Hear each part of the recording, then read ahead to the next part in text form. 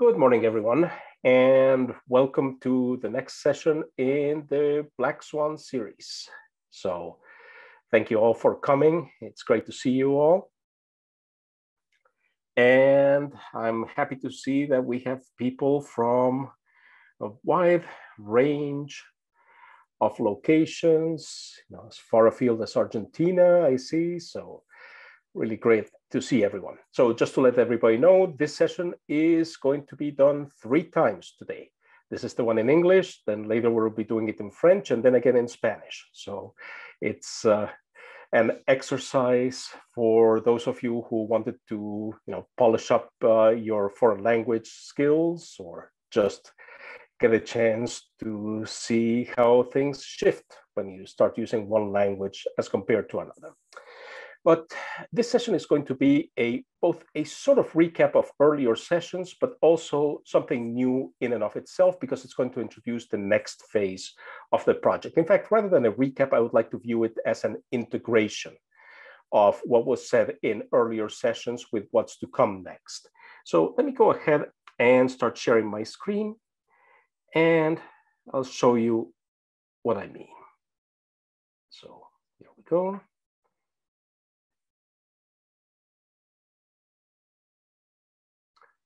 All right, so let me make some slight changes here. There we go. And please feel free to type questions into the chat as we go along. I also want to make sure that you know, we, this is not just me talking at you, but also give you a chance to ask questions uh, and relate this to what you want to do, because as we're going to see the question of how people can make use of these sessions on Black Swan thinking is going to be at the forefront of what we do. All right. So as I said, this is a question of thinking about black swans. So the first thing I want to do is I want to make sure that we get very clear in our minds what a black swan is.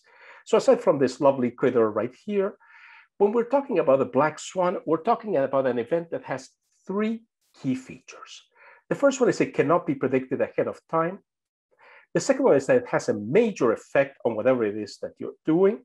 And the third one is that while you can predict it ahead of time, you can rationalize it retrospectively. Now, this right off the bat separates true black swan events from other types of events. So since Tom Ames from Texas is in the chat, I'll mention that the uh, cold snap that hit Texas a little while back and that produced a major crisis in terms of energy generation in the state and then subsequently uh, availability of potable water, etc., was not a black swan. Why wasn't it a black swan? Because it fell within a category of events that was statistically predictable. In other words, uh, Texas is known to have roughly every 25 years a deep cold snap like that. And in fact, 10 years ago had had a cold snap that there had already been a warning about. So we're not talking about events that are statistically rare, but fall within ranges of predictability. We're talking about events that cannot be predicted ahead of time. So a true black swan is something that you say, huh, that's something I wasn't expecting. So for instance, in the context of Texas, the fact that the cold snap occurred was not something that could be could not have been predicted ahead of time. It was predictable statistically, but the fact that some changes that have been mandated or recommended uh, a decade ago had not been put in place are closer to black swan events. So this is important to realize that a true black swan does not even have statistical predictability. And the other aspect about this that I want to emphasize is the aspect of retrospective rationality. In other words, you can say, oh yes, all those pieces happened or failed together, all those uh, different uh, domino pieces toppled because of X, Y, and Z. But there was no way that you would have known ahead of time that X, Y, and Z would cause each other to topple, each other to fall over. So you can figure out what happened afterwards, but you can't predict it ahead of time. So this is a true black swan. Now, black swan thinking is of course designed with this type of event in mind, but it's also important to realize that black swan thinking can be extended to events that do look more like what happened in Texas with the cold snap. In other words, you can go from black swans to what are known as dragon kings, which are not statistically completely predictable, but have some connection to statistically predictable events, and eventually find your way all the way to statistically rare, but nonetheless predictable events. So it's important to realize that while black swan events themselves are very, very specific, black swan thinking or thinking about how to deal with black swans extends to a, a broader range of scenarios, a broader range of circumstances. Now, why do we care? Why do we care about black swans? Well, we care about black swans because this diagram here shows you what happens. You've got business as usual happening the way it always does. So you're just going along, doing whatever you do. And since most of you are educators, I'll assume you're working in education. But in addition to that, one of the things then that happens is that a black swan event happens, a black swan event takes place, and lo and behold, now things are no longer business as usual because your business as usual enters the dark cloud of the black swan event. And three major outcomes that people think about happen.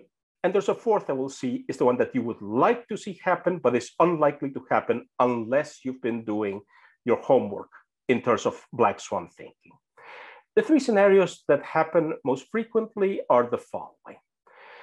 Most of the time, you get that third scenario down from the top, which is what's sometimes called near-term risk. So you go through the black swan event and you emerge the other end somewhat damaged, somewhat battered. You've taken a beating. If, it, if you're, say, an education institution, you may have lost some students.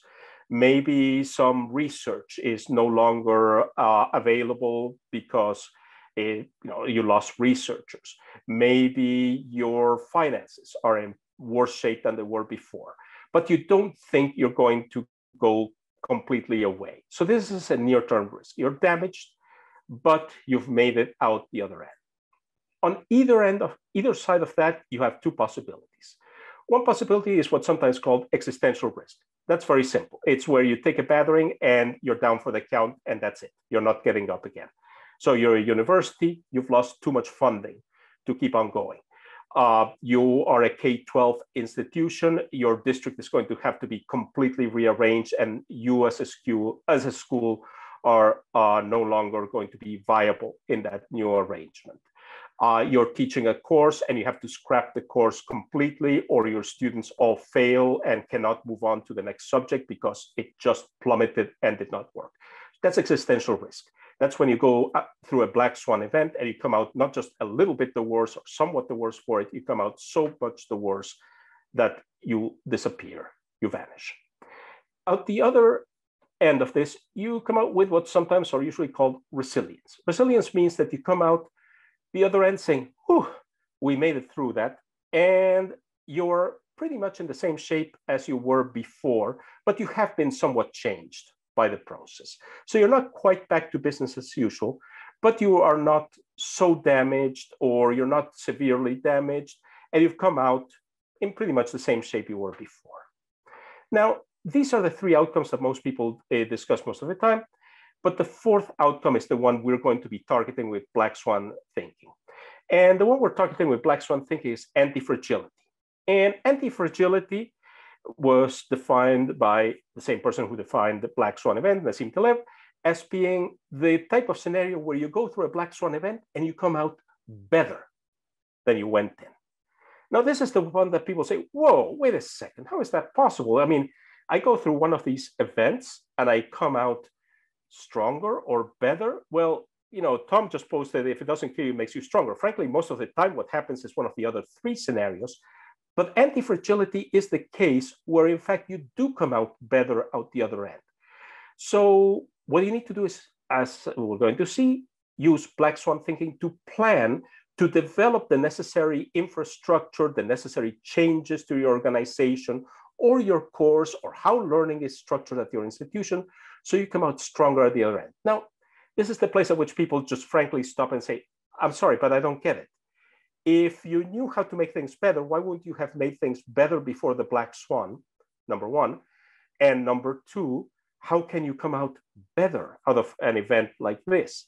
And Tom is saying his classes are better now than they were before the pandemic, which tells me he was doing his homework and doing some good black swan thinking. But let me show you an analogy that I find helps illustrate how and why anti-fragility can and does work. And the analogy is this. So this uh, painting by Thomas Eakins, and it's called The Gross Surgery. Gross because of the name of the head of the surgery, uh, Dr. Gross. And it shows something that was very rare when uh, was painting uh, this portrait of Gross, which is here he shows Gross operating on a patient with an infected femur and saying, okay, uh, we're not going to chop off this person's leg, we're actually going to rescue the leg. Now, that was an amazing development, all right? That was completely unheard of. It's kind of, whoa, you're going to do what? You, no, we, we just chop it off and that's it. So you can think of that as somewhere between the sort type of you know short-term or near-term risk and existential risk in terms of the leg. But what he was doing was saying, no, let, let's see if we can recover this leg with surgery by just treating the bone rather than chopping off the whole leg. But this also provides us the element for saying, well, if he managed to recover the leg and the person could still walk well afterwards, this would have been resilience. But here's the thing if he had gone into that surgery, looked in, at the leg after opening up and said, wait, there's another problem here. Say there's something along the lines of a tumor information and then had removed the tumor, he might have been actually had been able to have that patient come out walking better than they did before with better life expectancy than they had before. And this is what I say is the analog to black swan events. You don't go into surgery just because. You don't show up one fine day at your local hospital, at least most people don't, and say, you know what, I kind of feel like being opened up. So why don't you chop me open and see if there's anything you can tweak inside me uh, to make things better. Now, you, you do it because there's a crisis, because there's a major reason, etc. So you open up. But in the process of opening up, you suddenly say, well, while I'm here, I might as well look for things that aren't working, things that could need to be fixed, things that could work better, so that I don't just come out the other end with, well, that was about it. But you say, what could have been improved? What can I see now because of the surgery uh, that I couldn't see before? What could I see now that would have been invisible to me before? And that's exactly it. Black swan events make visible things that you couldn't see before. You didn't necessarily want them, just like you didn't want to go under the blade, but at the same time, it does make that possible. It does make it available to you.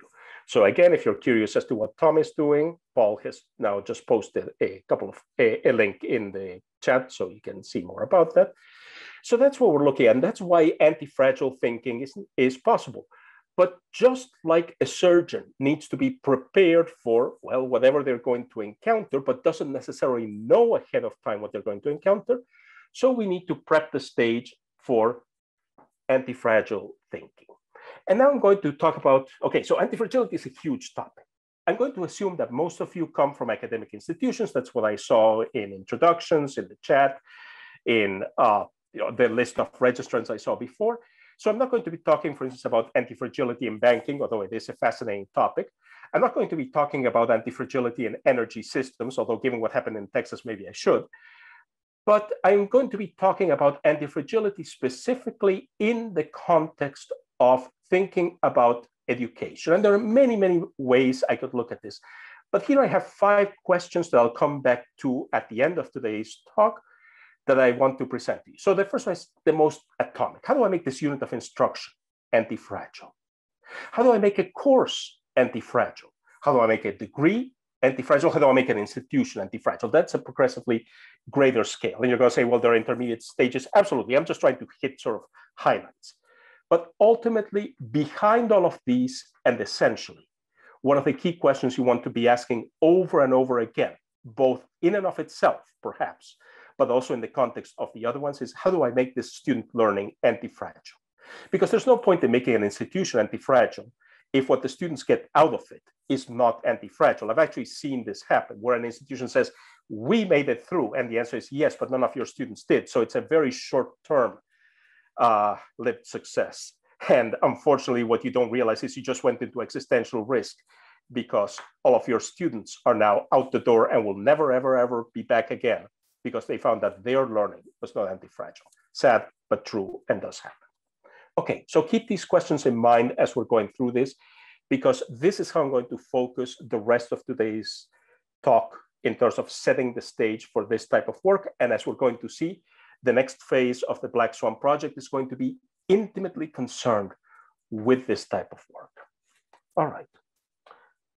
So the first thing we need to do is if you saw me in that first diagram, I had all those clouds and they were nice puffy clouds, but they were opaque clouds. We need to take apart that cloud. We need to look inside the cloud. That business as, as usual. I can't just take business as usual as this big monolithic thing and make it anti-fragile. Sorry, won't work. I need to tease it apart. And it turns out there are three components that I can use to tease apart. I'm going to talk a little bit about each one of these in turn, in terms of not just generic, but specifically in the world of education. System dynamics, which is the big picture approach. How things, which may be cash in the case of an institution's survival, it may be learning, it may be research programs, many, many different things. We're going to see some examples are flowing between groups, between uh, organizations or subgroupings within your overall organization. Agents, which deals with how individuals can start doing things on their own, can start participating or not participating in groups, interacting in ways that shift what's going on. And finally, networks that deals with the connections between those individuals. And again, we'll spend, spend a little bit more time with each of these. So let me take them one at a time. And what I'm going to do is I'm going to give you an example from within the world of education so that you can start seeing why this is relevant and how to apply it to anti-fragile design in education. We're also going to see an additional tool that we're going to use throughout in the next stage of the Black Swan project. And that's a model that I've developed called the SAMR model, which allows you to relate the way in which you use a technology to the impact that the technology has on student learning. And the second model, which is the EdTech Quintet, which refers to five categories of educational practices using technological tools that are of greatest relevance, greatest power in the world of education. We're going to see how these two fit together, as I've shown you here, like a jigsaw, in a way to give you the pieces that you need to construct anti-fragile thinking in terms of education. So let's go first to system dynamics. Now, there have been already three sessions on this. All of these are recorded. We're going to send you, among other things, the information on how to view the recording of this session, but you also have the information on how to access all the previous sessions. And this is the first one. This sketch note, by the way, was done by the amazing Torina Branson, who does amazing, amazing work in terms of summarizing visually what you're talking about. So this is something that, again, you'll be able to look at at your leisure and summarizes the topics that we covered in that first session. But the key element that you want to be thinking about in system dynamics is, as you see in the corner, bathtubs. And if you've already heard me talk about this, sorry, you're going to hear me one more time. Say you can always think of system dynamics as bathtubs connected by pipes. And those bathtubs contain something, and the something depends, as I say, on what it is you're looking at. And the pipes have flows which connect the, the tubs and tells you if this tub is full or empty or getting full or getting empty. Is it going to overflow and make a nasty mess on the floor? You generally don't want that, generally. Uh, maybe if you're a duck living in your home, you do want the uh, bathtub to overflow and make a nasty mess. But other than that, you generally don't want that. Your neighbors downstairs, if you live in an apartment, get very upset, etc. So it's important to figure out how different ways that tubs are connected, how different feedback loops that tell a pipe to open or close, etc., are connected. And this metaphor works very well. But let me give you an example in education that I haven't shown yet, because as I say, if you've seen the video of this session or participated in it, you know, I talk a lot about bathtubs and other examples like that. But let's talk, for instance, about a model that says, let's think about learning and groups of learners and events that happen and elements such as learners concepts, etc., as just that, bathtubs or uh, stocks connected by pipes or called flows. And this is from a Diana Laurillard's work on formal and informal learning. And what you see here is how different elements can be viewed as stocks connected by flows. So for instance, if you go, let's just look at a couple examples. So you have, go to formal learning here at the top. You have teachers' concepts and learners' concepts. Each of those can be viewed as a stock and they're connected by pipes such as concepts. And there's a feedback loop provided by questions. In other words, you could go through and you could say, if I'm looking at my class, for instance, let's assume you're staying on the level of an individual class, and I want to understand how different elements, how different components are being transacted between students, learners, teachers, etc. I can view this as a stock and flow diagram and say, well, okay, suppose something hits hard. How do I make sure that this doesn't all fall apart? How do I make sure perhaps that students can refocus their questions that might be a topic of interest to me to deal with a shift such as provoked by a black swan type event in the context right now of the current COVID pandemic, certainly something that black swan thinking would definitely help with and has helped many people with. This is the sort of thing you might want to do because some people say, well, it's relevance, it's got, hold on, it, there's something deeper going on here. The world is changing because of the pandemic. Wouldn't I want my students' questions to become better questions relative to the world they will be inhabiting post-pandemic. Bryan Alexander has just posted a link to a conversation with Diana Laurillard. I strongly recommend that. I was fortunately able to take part in it, and Diana's a wonderful uh, thinker and speaker, so by all means, look at that. So this is an example of a model that says, okay, so we have the stocks and flows, but there's one more thing. So it's kind of, okay, so this is very abstract. What type of things are being transacted? And again, this is something that if you were looking at doing a project on this topic, you might say, well, you know, each of these pipes, each of these questions, etc., falls within a set of learning types. And uh, Diana has these six learning types, which uh, if you choose to work in this, in the next phase of the Black Swan project, I'll have much more to say about.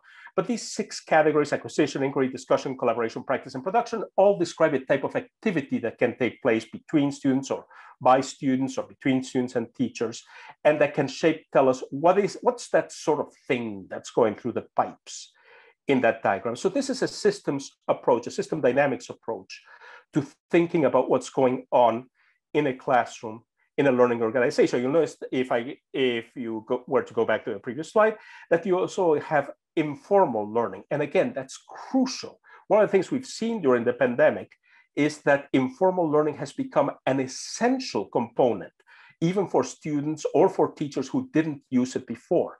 And it's also become much more visible how many people were using it before, but it was sort of under the radar. And again, if you understand how to leverage that, if you want to get something that works better, is anti-fragile after this pandemic or whatever next black swan event hits. For instance, climate change, which is going to generate, as we know, a series of one black swan after another after another. Then you really want to be thinking about that aspect or that component uh, here. So, all right. So this is the first one of the three. Now, the second one, and again, you've got the tape for this if you watch it, is agents. And what do you do is you take that bathtub with the pipes and the water and you say, what if each drop of water had a mind of its own? What if each drop of water could sort of decide to go walking off to the next uh, bathtub and do something else? What if a drop of water could decide to walk back up the pipe? What if a, stop, a drop of water could say, hey, I'm going to make my own mini bathtub over here?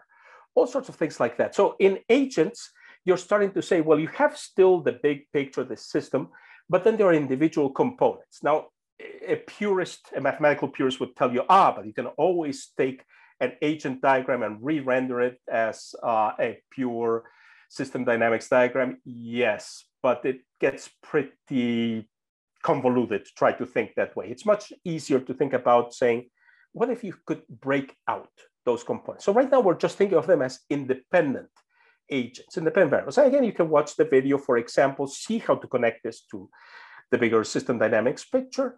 But as I did before, let's think about, for instance, what happens if you're looking at the scale of a classroom. And now let me give you another example. So I showed you Laurillard as a big system dynamics, but now let's go a little bit more micro on this because that's after all what you're doing with agents. Suppose you're talking about the feedback loops are involved in formative assessment. Okay, first things first. you need a working definition for formative assessment. And this is say from the work of Black and Wiliam. And you'll see that says practice in the classroom is formative to the extent that evidence about student achievement is elicited, interpreted, and used. Three things, okay? You pull it from wherever you're getting it, you interpret it, you make meaning of it, and you use it by who? Teachers, learners, or their peers. Again, three groups here involved. And then you're going to use it not just because, huh, that was interesting. Okay, great. And now we're going to sit back, or I'm going to just go give the student a grade, and that's it. For a start, if it's a grade, that's summative, not formative assessment. But uh, some people just decide that all they're going to do with formative is translate it eh, and go Shazam, and Shazam makes it into formative assessment, which is not a good idea. Uh, eh, but what is it that if you're going to really be using formative assessment, you're making decisions about the next steps in instruction are likely to be better or better founded than what they would have done had that evidence that was elicited was not there. So that's a definition for formative assessment. Why is this something that leads us to agent theory? Because notice that we have three groups here, teachers, learners, and peers. But wait, each learner is now an individual aid entity and agent within this panorama. It isn't just a, you don't provide formative assessment to the class as a bulk, then you just be provided to the peer group but not to the individual learner.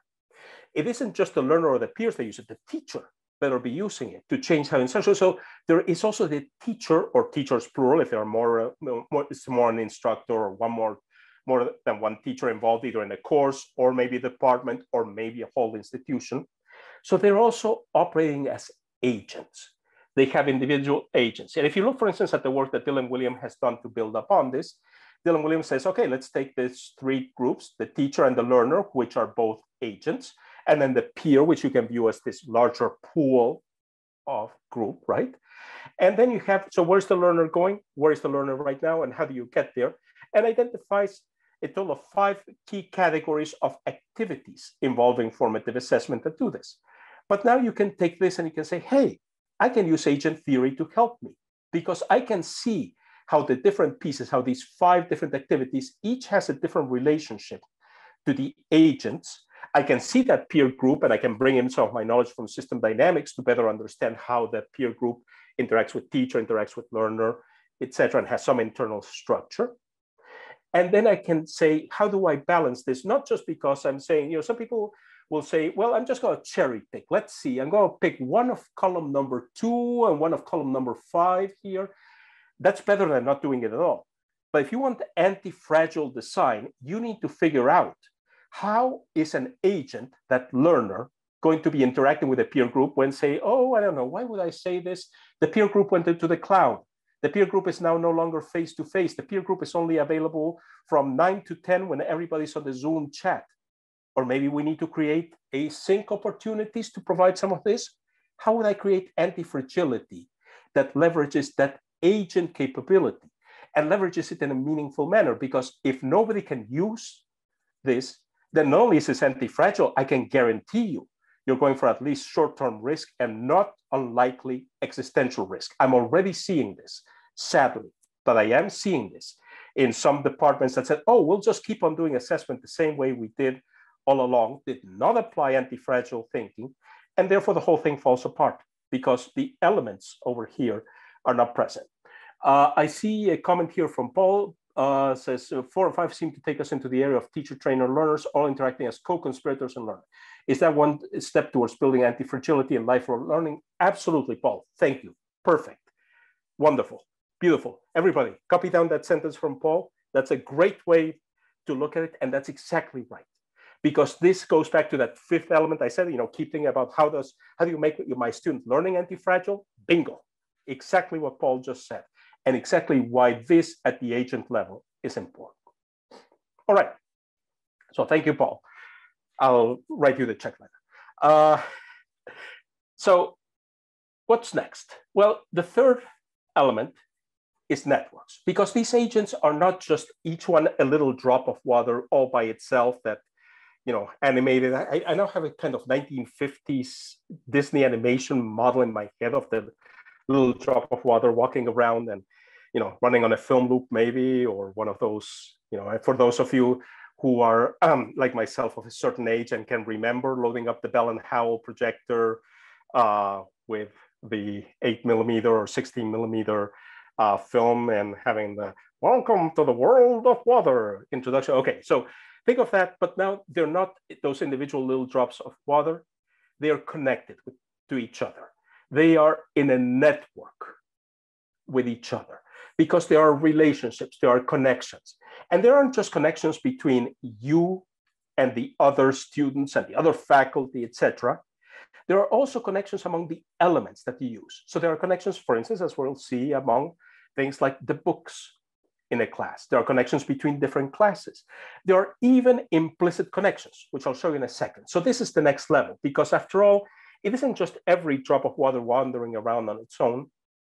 It's how are these drops of water connected with other things that are not water, such as little pipelets and so on, and how are those connected with each other, and how are all the pipes connected to each other? This is an idea of a network that's also here. So let's look at a couple of examples. Here I'm going to show you several. Here's the first one I'm going to show. You introduce an innovation in your class. Why are you introducing an innovation? Because something changed. Again, guess what? COVID said, hey guys, you know what? Uh, not so good uh, to cram everybody together into a big lecture hall and just uh, pack everybody together with less than six feet between them and no masks. Uh, not a great idea. So suddenly change and you have to think about well i'm going to innovate i'm going to introduce a new way of teaching a new way of talking to my students etc great. And then faculty do this and say oh my students are so reactionary man. They don't accept any innovation. They are they just want to go back and say hold on. If there's one thing we know from the work of rogers and others is that innovation propagates through a group by virtue of different social elements that yes are connected to each other through networks. So you start out with the innovators, the people who are out at the front and who can immediately pounce on a new idea and do something with it, but their, their ideas are very different from the rest of the group. So the opinion leaders uh, are the ones that see the innovators and say, ah, I know how to translate this into something the rest of the group can use. And they themselves also innovate and find new things, but their goals, their ideas are more like the rest of the group. They have the early majority that says, we take, we're connected to the opinion leaders. Therefore, we will follow them. The late majority says, we're kind of connected to the early majority, but we kind of look at the rest of the group out there. And when everybody else is going, sure, we'll go next. And then you have the laggards who never, okay? So if you want your learning and this great innovation that you came up with so that your students could keep on going through the pandemic to propagate, well, you'd better think about how innovation is going to propagate. And you'd better have done this before the pandemic, because once you're in the middle of the pandemic, it's too damn late to figure out how this works in your type of student groups. And again, I've seen this happen over and over again. And it's important because if you can do this work ahead of time, you build anti-fragility in. And just to show you that I'm not making this up, let me show you one example. So this is for a propagation of innovation. In this particular case, it was uh, learning new ways of teaching math and new ways of communicating math, propagating through a group of schools as mediated by the school principals and superintendents that uh, pushed for the innovation. And what you're going to see here is, here's the network diagram showing you the connections among people from the very first innovator, who you'll notice is not strongly connected to anybody else by ties of communication or friendship. But then you see it propagate, and guess what? You see exactly this type of structure. If layer two, those opinion leaders in 1959 had not been connected and you did nothing to ensure that what they discovered was communicated to others, the innovation would not propagate. And you can do analyses like this in your class. It's actually much easier than you might think. So that's an example. Some of you uh, who were with me for a session I did before the Black Swan project officially began will remember that I told you to take the constellation of books that form the connections between classes and use that not just to see the connections among uh, classes, but also to say, hey, if I wanted to have the whole structure fall apart, what books would I remove to do this? Well, while generally you don't want the whole structure to fall apart, that type of thinking leads to anti-fragile design because it allows you to see which books do I need, which books connect things, and watch out. Sometimes you don't want strong connections all the time. I'll refer to the work of Granovetter on the importance of weak connections in networks for, for the overall uh, capacity of the network to survive events like black swans. But the books themselves are connecting different classes, different courses, different learners, and it's important to view them as such. So that's another example of a network that might be of use to you if you're building in anti-fragile thinking in what you do. And finally, sometimes you have with our implicit networks. Now I had thought of doing this as an activity here, but it would have taken too long. So I decided, no, let's scrap it and uh, just keep going without it.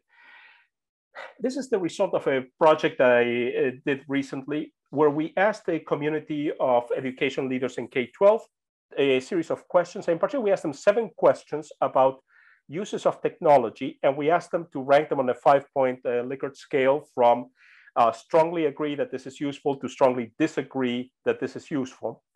And then I was able to say, well, if you agree on all seven points with somebody, there's an implicit link between the two of you. If you agree on, say, five, it's a weaker link. If they agree on only three, it's a much weaker link. If you agree on none, there's no link between. So here I'm showing you, this is an actual research result. It is anonymized, so you don't know who these people are. But you can see right away that this is a rather interesting network. And in particular, if you do the network analysis, you see there are three communities. And if I were to get into the detailed analysis, which I will not for this, but just to give you the general idea, one of the communities, the one you see in yellow, it tends to be much more positive towards general applications of technology. The green community tends to be sort of in between, not completely hot, not completely cold. The blue community isn't cold, but it's more skeptical of some uses of technology. And I can say, aha, this is useful. This is important, even though none of these people knew each other prior to the workshop where this data was collected. I still have something important and useful I can get out of it because there is an implicit network and I could start saying, well, suppose I want to put together teams that are very strongly positive towards technology in the entire team. Then I'm going to draw from the yellow side of things. But suppose I'm going to put together a team that's a mix. Then I'm going to say, I want to make sure I have some people from yellow, some people from green, some people from blue. Suppose I want somebody that can talk with a lot of different people. I'm going to say, well, look at somebody like a, you know, number four, smack dab in the middle of the diagram. They're talking with people. They have some similarities with people in the yellow group, some similarities with people in the blue group, and of course, some similarities with people in the green group. So they're a good bridge. And I can start using this. And again, this is one example but I can use this type of implicit uh, type of connections, this implicit type of network to help me define, determine, for instance, anti-fragile solutions for an institution. Because one of the things I can tell you is when a black swan like COVID hits, the last thing you want to be doing generally is say, yeah, let's go to a traditional departmental structure. And boy, that will be a great structure for dealing with this crisis in a way that's strong if you're lucky, you're going to have departments that all are very well uh, structured, etc. But they're going to have those departments. The emergence of a solution that works for the institution in anti-fragile fashion is extremely unlikely. At best, you're going to get resilience. And again, let me tell you, even that is rare. So again, this type of implicit network and thinking about how to look for this type of implicit network, what to do, uh, in terms of uh, fostering certain types of networks using the results, etc., is what you're seeing then as another possible use. A quick comment here from Tom in the chat, which he has just listed an excellent link to a study of communities of practice and faculty innovation. Again, important one if you're thinking about what might you do with this, what could you do with this, and why. All right, so those are the three tiers that allow you to unpack what's going on inside one of these uh, systems, what's going on inside one of these uh, scenarios that allow you to start saying, how do I craft anti-fragile solutions? How do I look at those bathtubs and pipes in such a way that the bathtub doesn't overflow in such a way that the water keeps going through the system? How do I look at the agents? to make sure that agents don't drop out, don't disappear? How do I look at the networks to make sure that the network pushes in the direction I want it to go rather than tearing the whole thing apart? And in this context, then, oh, one of the things that I found is useful is a model I developed called SAMR. Some of you will be familiar with it, but very briefly, it relates the type of use you make of technology to the type of impact uh, that the technology has on student learning. So at the lowest level, which is substitution, you're just using a technology to do the same thing as an older technology, no changes in what you're doing. And that has a very low impact on student uh, learning, almost negligible. At the augmentation level, uh, you're starting to include functional improvements. That means you're doing exactly the same task, but you're doing it better using the new technology, using new affordances made possible by technology that weren't uh, available before. And that's the augmentation level, which is an improvement level. So these two levels, however, have relatively low impact on student uh, outcomes, and they're what I call the enhancement levels.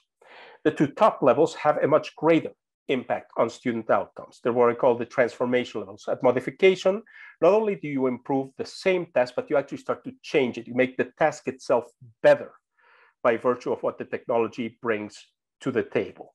It, you make it better by virtue of what you can do with it that you couldn't do otherwise, even as the task remains the same.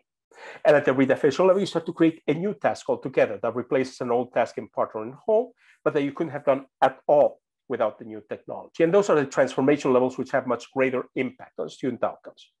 So as uh, we're going to see in the next phase of the Black Swan project, one of the things that we'll be doing is we'll be working in teams on thinking how to use this to help you look at system dynamics, at agents, or at networks, or some combination thereof, in such a way as to optimize how you use technology to address some of these questions.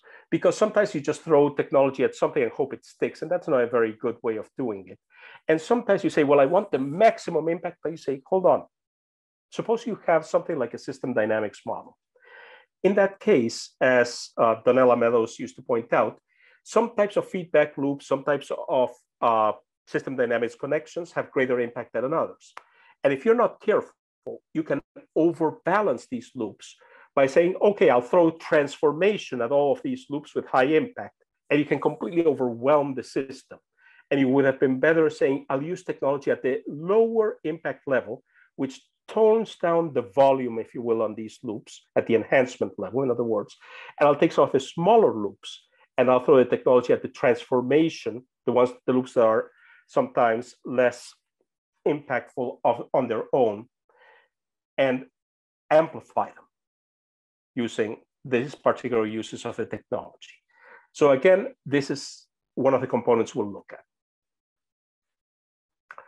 And then the other model I've developed is the model called the EdTech Quintet. It refers to five categories of technology social tools, the tools we use to communicate with each other, to create jointly, to share what we create, etc.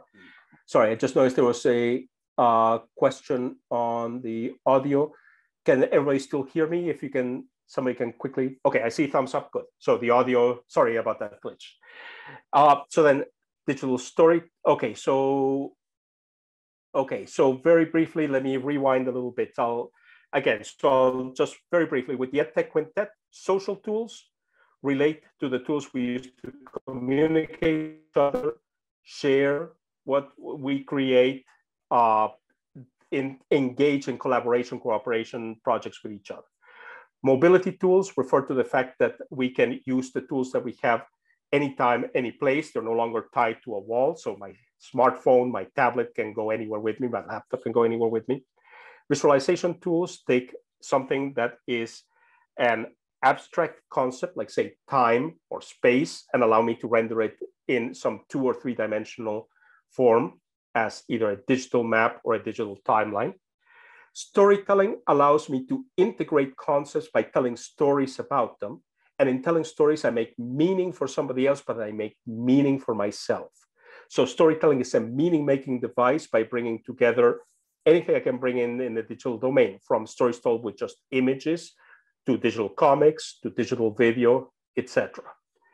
And finally, gaming. And gaming provides feedback loops. When I play a game, I'm driven by trying to beat the game, but a game provides me information how well I'm doing, how much I'm eh, how much I'm progressing in my understanding of whatever is represented in the game via feedback loops.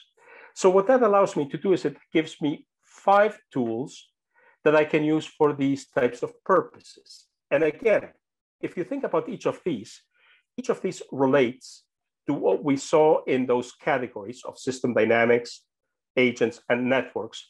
in very direct ways. Because if we're talking, for instance, about communication collaboration, just to pick the most obvious one of the lot, those are the connections, those pipes, those are the connections, those connections between people in networks, etc.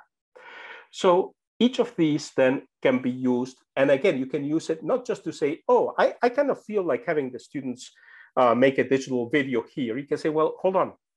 It's the integration of concepts that's involved in digital storytelling an appropriate way of bringing together two things so as to make a particular structure anti-fragile. Uh, I'm not going to spend too much time on this, but we can actually take it a step deeper and you can relate the five elements of the EdTech Quintet with the processes involved in a Vygotskian social learning process. And for those of you who choose to engage with the next phase of the project, we're going to be spending a fair bit of time on this. I'm just going to point out that each one of the five categories of the EdTech Quintet also relates to a, fundamental category of Vygotskian social learning. So for instance, social provides diversity, mobility creates a context for a social process of uh, Vygotskian social learning. Then visualization allows you to chop up a zone of proximal development so you can pick out components that are going to be part of your learning process. Storytelling integrates a zone of proximal development, and gaming provides that loop of independent practice. Again, if you've not seen Vygotsky before this, don't worry, we'll spend plenty of time on this. But I also want to point out that the EdTech Quintet also relates at this level to what you can or might do. So at this point, we're coming to a close. I want to make sure that I don't keep you too long today. You've all been very kind to be here this morning, and I want to honor your time and your other commitments. But now let me tell you what we're going to do next. What I've tried to do in this session is to give you the landscape. Why we're doing this? Why do we care about anti-fragility? Where do these three components, system dynamics, agents, and social networks all play into this? Give you examples from actual educational practice, and then introduce you to two, two sets of tools, SAMR and the EdTech Quintet, that will help us design systematically towards the objectives we would like to achieve in anti-fragility when tackling a problem at the educational level. And again, I wanted to put these five questions here on screen so that you could have them in mind as I'm telling you the last bit of the story. Because the last bit of the story is actually the beginning of the next phase of the story. The beginning of the next phase of the story is that we're not going to just say, okay, and now Ruben is going to give us some more lectures on this. No, that's not what's going to happen next. What's happening next is we're going to open the process for a design studio. We're going to invite you to join us in teams with a specific problem, not a hypothetical, not a let's play pretend. No, no, no, no. I want you to identify a question that you're interested in, passionate about, saying, if we don't address this, my institution is headed straight for that you know, existential risk charter that you're concerned about because, for instance, as I know Bryan, Bryan Alexander is doing, you're very concerned about what's going to happen with the next range of uh, climate change, like uh, inspired or triggered, I should say, rather, black swans. And what you want to do about this, so you actually want to deal with this. You want to create structures, you want to create frameworks, you want to create something you're going to use, you want to create something that you can take back to an institution and say, hey, we need to be thinking in these ways. That's what we're going to be doing next. So the next thing that's going to happen is after you leave here today, you're going to get an email from us and it's going to be an invitation. It's going to be an invitation to participate in an intensive design studio. Those of you who have worked in design studios know you don't lecture in a design studio. You work, you create, you make, and that's going to be the goal. I don't want to get at anti-fragility by having me preach at you for the next 50 hours on, and then uh, here's another research. No, no, no. You're going to make something, it's going to make something that's going to matter to you. So that means that you are going to be doing something different with anti-fragility from the next team next door. And that's important. It's also why, by the way, I'm doing this uh, session in three uh, different languages, so in English, uh, French, and Spanish, because I want to diversify. A key element of uh, anti-fragility, okay, no matter how you're thinking, think about how to get different minds in the room, different approaches, how you get people to segment things differently when people come in with their own language, from a background of different cultures, your bets are much better, much safer that you have a shot at doing this. So that's going to be the next stage. It's going to be an invitation for you to put together a small proposal and a team. And then we're going to be working intensively over the course of a week. And that's going to happen in the next month. And one of the reasons I'm not giving you a date is because I want this to work for you. Rather than saying, ah, you must be here on Tuesdays at eight o'clock Eastern. No, no, no, no. This is a design workshop. I'm going to be working with you and your teams in the framework, in the time, in the form that works for you and your project. And that's going to be important. So that's going to be the next stage. As I say, you're going to get a nice little email from us with a little link to a form so as to uh, you know, submit your proposal. We're going to give you some time, some, you know, we need to have this information by this date type thing but that's what you want to be thinking about. What type of project you want to do? And I am saying specifically teams, because I think you get the most mileage if instead of working on your own, you work with other people. The more brains in the room, up to a certain point, at some point you get too many brains in the room, and that's an interesting question. But you know, if you can get two, three, four, up to seven, say, or so people in the room, that's great. But you have to decide. If you want to make a case for a team of one, in other words, you'll be talking to yourself in the mirror in the morning, make the case. I'm willing to listen. You'll make a case for a team of 800? Well, we're going to need to get a big Zoom account to host the conversations, but I'm willing to listen. But that's the key thing. This is going to be a design studio, not a set of lectures. It's going to be a hands on, make something. And what you make, we're going to compile. And the goal is not only are going to have the use of it, but we're also going to create something that can be a resource for others, a resource that can lead to more anti-fragile thinking, more institutions figuring out how to deal with black swans, not just by subsisting, not just by hoping they don't get hit too hard by that black swan, but actually by flourishing, by coming out better, stronger the other end. So my contact info as usual. I want to thank you all for your time. We've run a little bit longer than I had expected to, but that's okay. So I as I say, I want to make sure that if you have any questions, uh, we can answer them. So feel free to go ahead and type into the chat. But uh, again, let me thank you all for coming. By the way, the slides will be available to you. The video will be available to you. We'll send you information on how to get those. But uh, let me ask you, are there any questions that we can address?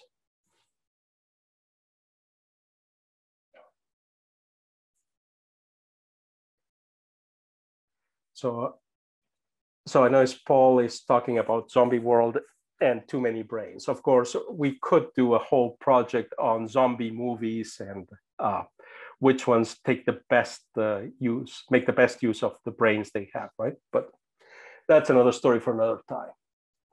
So, Marilyn, uh, can I explain more about the implicit network? Sure. Let me give you another example. This is one I this is the one I was actually thinking of doing today, but as I say, I did a calculation of time. It was just going to take too long. Suppose I asked each of you to say, okay, you know what? We're all going to go out for dessert later today. And we're going to this ice cream store and they have all sorts of ice cream flavors.